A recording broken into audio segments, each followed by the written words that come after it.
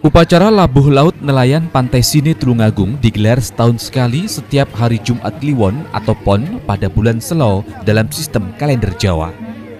Labuh Laut ini sebagai ungkapan syukur kepada Tuhan Yang Maha Esa atas rezeki yang mereka peroleh dari hasil laut selama ini. Upacara Labuh Laut diawali dengan keduri dan doa bersama. Prosesi selanjutnya adalah mengarak sesaji dan harip-harip menuju bibir pantai, kemudian melarung sesaji dan harip-harip ke laut. Harip-harip sendiri merupakan boneka berbentuk hewan laut yang terbuat dari tepung dan wajib ada dalam labu laut Pantai Sine. Upacara labu laut ini merupakan tradisi tahunan yang sudah ada sejak satu abad lalu sebagai syukur atas limpahan rezeki dari Tuhan melalui laut. Selama upacara labu laut, para nelayan dihimbau untuk tidak beraktivitas melaut dan diminta fokus mengikuti upacara. Nah,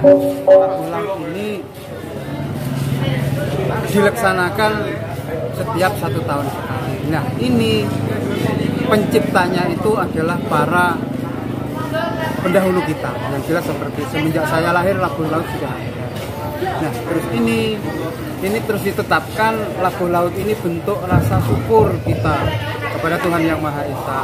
Orang tua tua kita dulu cara bersyukurnya seperti ini yaitu dengan cara sedekah laut. Nah, sedekah laut ini untuk untuk abu rampenya yaitu karena kita yang dipanen bukan padi, bukan ketela, bukan jagung, bukan hasil pertanian, yang dipanen ikan adalah yang dilarungkan ini gambar-gambar segala macam jenis ikan, yaitu yang terbuat dari tepung. Selain sebagai ungkapan rasa syukur, labu laut ini juga untuk menjaga kebudayaan luhur. Bahkan dengan adanya labu laut, pariwisata dan perekonomian warga nelayan bisa terangkat. Agus Bondan, JTV, Tulung Agung.